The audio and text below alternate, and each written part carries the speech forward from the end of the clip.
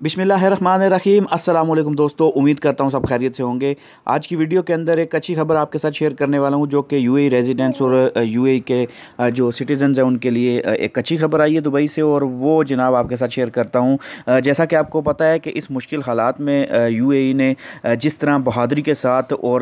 اس چیز کا مقابلہ کیا، اور they are taking each and every measure اور ہماری سیفٹی کے لیے ہیلتھ کے لیے، انہوں نے بہت زبردست جو ہے وہ اسٹرگل کیا ہے اس چیز کے لیے، اور کر رہے ہیں، باقاعدہ طور پہ کر رہے ہیں اور کسی بھی کنٹری کے اندر اتنی زبردست قسم کی جو میئرز ہیں وہ نہیں لیے گئے جو یو اے ای گورنمنٹ نے لیے ہیں اینڈ وی اپریشیٹڈ اور as a as a resident ہماری بھی رسپانسبلٹی بنتی ہے کہ جتنے بھی رولز اینڈ ریگولیشنز بنائے جائیں یو اے گورنمنٹ کی طرف سے we have to follow all the rules and regulation set by the U A E and U A E government تو آج کی ویڈیو کے اندر جناب آپ سے بات کرنی ہے پارکنگ کے حوالے سے دبئی کے اندر دو ہفتوں کے لیے پارکنگ کا اعلان کر دیا گیا ہے کہ پارکنگ دو ہفتوں کے لیے فری ہے۔ تو tomorrow Tuesday thirty first of March سے لے کے منڈے تھرٹین اپریل مطلب آج ٹیوزڈے ہے تھرٹی فسٹ آف مارچ ہے، جب میں یہ ویڈیو اپلوڈ کر رہا ہوں to Monday thirteen of April twenty twenty تک. تو دو ہفتوں کے لیے یہ اعلان کیا گیا ہے۔ اس کا اعلان کیوں کیا گیا ہے اور کن کن ایریاز کے اندر یہ ہو رہی ہے یا پورے دبئی کے اندر ہو رہی ہے، وہ بھی آپ کے ساتھ شیئر کرتا چلوں.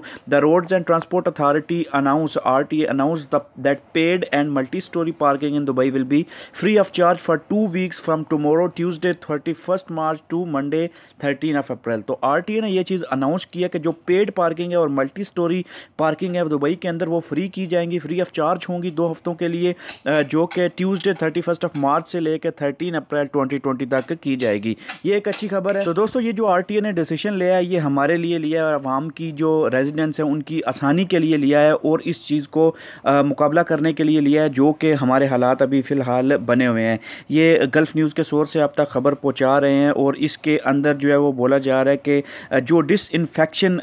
پروگرام ہو رہا ہے، جس کے اندر بہت زبردست قسم سے یہ روڈز کلیئر کیے جا رہے ہیں، صفائی کی جا رہی ہے، ڈس انفیکشن ہو رہی ہے، اس کے بعد گاڑیوں کی ڈس انفیکشن کے لیے بھی کچھ پروگرام چل رہے ہیں۔ یہ بہت ہی زبردست جو ہے وہ اقدام ہے یو اے گورنمنٹ کی طرف سے۔ And everybody has to follow, and everybody has to stay home stay safe